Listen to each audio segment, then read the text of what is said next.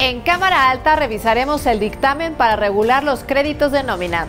Analizaremos las reformas realizadas a la ley de consulta popular y también les contaremos qué eran las partidas secretas y por qué el Senado decidió eliminarlas del presupuesto de egresos. Cámara Alta, viernes 8.30 de la noche por el canal del Congreso.